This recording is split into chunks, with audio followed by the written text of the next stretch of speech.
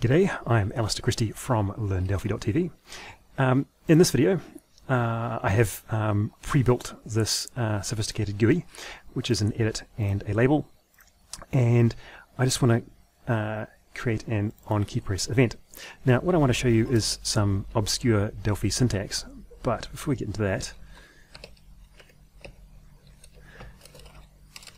is assigned, oops, So we're just assigning the label caption the um, ASCII value, if you like, of the key or integer value of the um, of the key press, or the key that's being pressed. So we can run that, and you know, A is 97, capital A is 65, and so on. But uh, there are some special keys, uh, one of which is Control C, which happens to be uh, 3, or if I press Control A is 1, Control Z is 26. So um, basically it means you can detect these key presses uh, in your on key press event. Um, but the obscure syntax I want to show you is if key equals, so we could write for um, detecting Control C hash 3, um,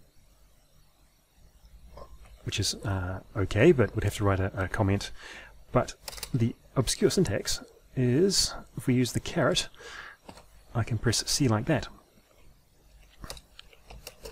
So now, only if it's Control C will it uh, update the um, caption. So Control A does nothing, but Control C uh, updates our label caption. So um, this is rather obscure. Um, I, am not sure if it dates back to Pascal days. Uh, it is pretty pretty old. Um, and I came across it for the first time when parsing a whole bunch of Delphi units with some code. I think I was using the um, Delphi AST parser, maybe, I can't quite remember. But um, it was falling over on this. Um, I think I think it's fixed now, but uh, at the time uh, wasn't recognizing uh, that that sort of very uh, unusual Delphi syntax. Um, I just sort of changed it to that to resolve the problem. I think at the time, um, but I think now that is um, valid. And I could also say something like um, key in.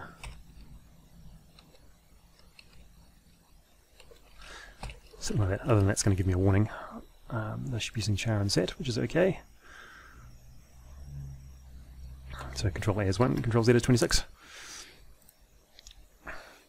So um, that's pretty much uh, all I wanted to demonstrate for this video. Um, I don't know if you'll ever find it useful, but it is interesting. Um, I'm Alister Christie from LearnDelphi.tv, and if you liked this video, hit the uh, like button and subscribe to the channel. So, see you next time.